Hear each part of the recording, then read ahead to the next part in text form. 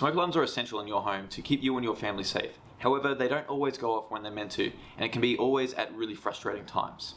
All smoke alarms do feature a hush button to relieve you of the screaming sounds to help you identify the source of the problem and rectify it. However, what happens if you can't reach the alarm? My name is Cameron from PSA Products, and today we're going to have a look at the smoke alarm controller. Smoke alarm controllers like the LIF 6000 THL here allow you to remotely hush a false alarm. They're really helpful because you don't have to get up on a chair or use a broom handle to press the hush button on your, on your alarms, which can be quite frustrating and sometimes dangerous. They're also extremely helpful in situations where you have really tall ceilings or for elderly people who can't reach their alarms. You can put them in a very low position which is accessible by anyone. They're also helpful if you have multiple alarms on your property and when they do go off sometimes it can be hard to locate the alarm that's causing all the fuss. There are two main functions of a smoke alarm controller. The main one is to be able to hush the alarms in the event of a false alarm. So in a situation where you have a false alarm, you want to make sure you go around to every single room in the property and make sure that there is no real fire and confirm that it is a real false alarm event.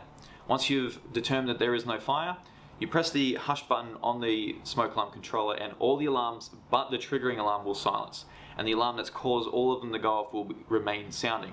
This allows you to address which alarm might be the problem. And then once you've located the problem alarm, you can press the hush button again to silence it.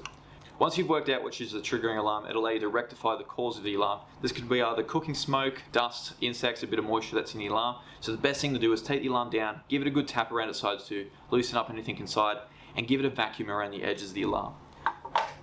Ideally, you want to be vacuuming around the side here where there's usually a gap in the plastic because that's where anything's going to get inside. Now, the, the hush feature will only silence the alarm for about 10 minutes or so, so make sure you do all that before the timer comes up, otherwise it will go off again. Once 10 minutes is up and it doesn't go off anymore, you've rectified the problem and you can put the alarm back up on the ceiling. The Lifesaver LIF 6000 THL is the wireless test hush remote for the Lifesaver 6000 range smoke alarms. So that means it will work with the LIF 6000 DCW, which is the standalone wireless alarm, and it will work with the 6000 and 6000 RL smoke alarm when they're connected to wireless bases. I put in the description below all of the links for these products in case you're interested in having a look at them.